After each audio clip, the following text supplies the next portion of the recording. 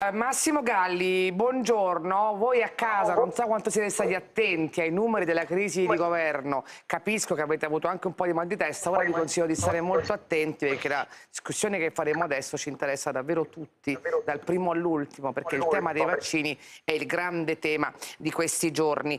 Ehm, professor Galli, bentornato. Ehm, dopo le faccio anche sentire Conte che parla di lei, eh, le dico la verità. Però invece partirei dai vaccini perché credo che sia questo il grande tema di oggi. Mi ha molto colpito il numero di vaccini somministrati ieri che è di 14.537, davvero pochi, molto molto pochi che succede? Avevamo parlato di eh, almeno 60-70 mila dosi al giorno, vi ricordate? E, e, già, secondo tutti, erano pochi. Noi facevamo un conto che per poterci vaccinare davvero in tempi rapidi bisognava andare oltre le 100 mila dosi al giorno.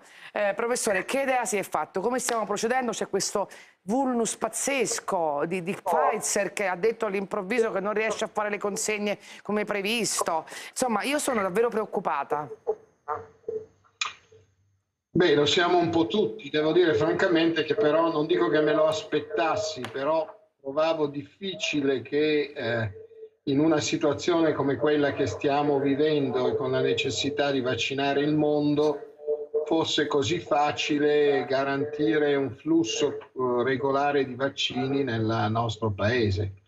Credo che eh, questo vale per noi, vale anche per gli altri Purtroppo ecco, il vaccino che arriva col contagocce, che arriva poco alla volta, ci crea un problema sicuramente in termini di eh, anche eh, rapida riduzione della circolazione del virus e quindi eh, più lento arriva il vaccino, più lunga diventa la storia, insomma. E eh, più il eh, virus continua a circolare in presenza di vaccino e di vaccinati e questo può crearci qualche problema anche in termini di selezione di resistenze.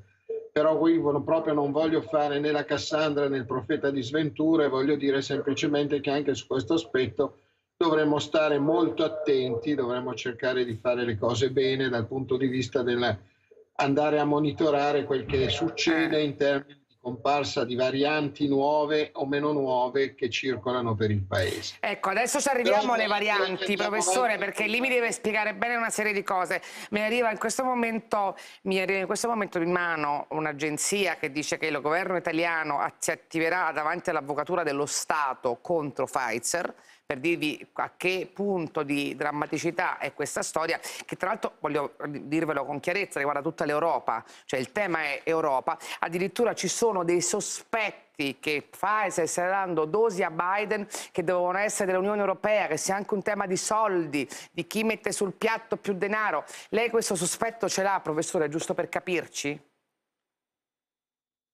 Guardi, io non voglio avere sospetti in assenza di, eh, come sempre, in assenza di dati, in assenza di eh, cose che mi dicano che eh, il sospetto è eh, fondato. Eh, ripeto che credo che il problema principale sia l'adeguatezza degli impianti per la produzione di un numero sufficiente di vaccini che possono essere distribuiti rispetto alle date previste. Se poi c'è qualche altro fatto che, mm. che, non conosciamo e che magari qualcuno conosce più e meglio di quanto posso conoscerlo io, che ci pone qualche sospetto, qualche cosa che tutto sommato non ci piace eh, no? eh, attorno a questa questione, beh, non lo so ed è inutile così parlarne. Certo, ha ragione.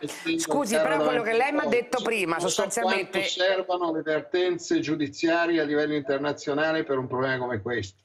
Quello che mi ha detto è che se Pfizer ha firmato un contratto troppo oneroso in qualche modo, che peraltro è una cosa che dice anche un po' stamattina Cavaleri, che è un signore importante perché è il... Ehm... È competente anche. Eh?